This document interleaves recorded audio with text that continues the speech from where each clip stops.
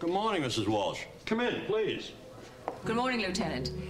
Um, I'd, I'd like to speak with Detective Hughes, and I was told that I could find her in here. Oh, I'm sorry, she's not here. Uh, does this have anything to do with the Kovac Randolph investigation? Because if it does, she's no longer assigned to that case. Oh? Well, I, I want to talk to someone. What about? I have a confession to make. Dr. Samuels, did you uh, get the results of my